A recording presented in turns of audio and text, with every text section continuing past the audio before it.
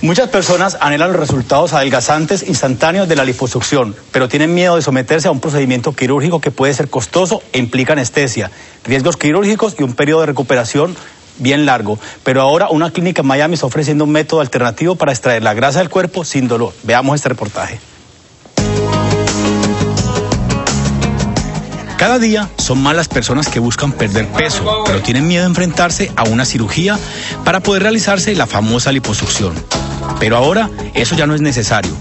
Los avances sustanciales en el campo del contorno corporal han permitido la creación de nuevos procedimientos no quirúrgicos de liposucción que ofrecen resultados sorprendentes. Y en la clínica SER Institute han desarrollado varias alternativas para reducir esas libritas de más, entre ellas la carboterapia.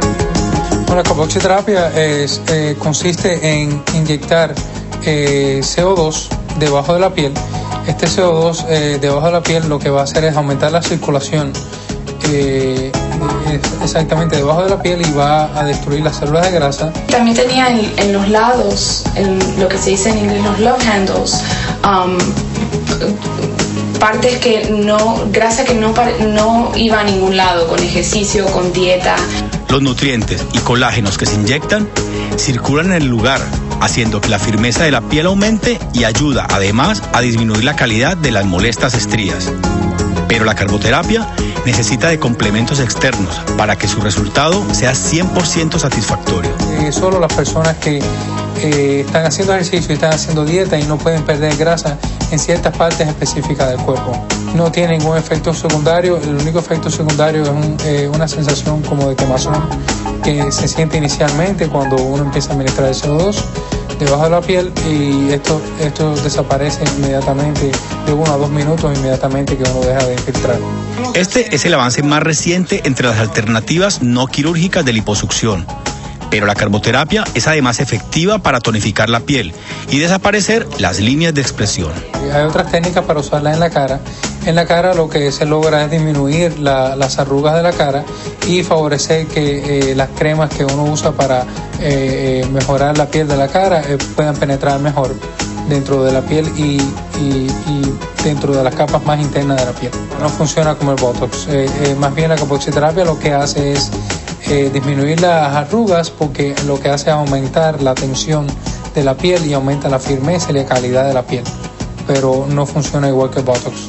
Los resultados se ven en tan pronto como una semana y con un promedio de unas 20 sesiones, la cara lucirá completamente renovada.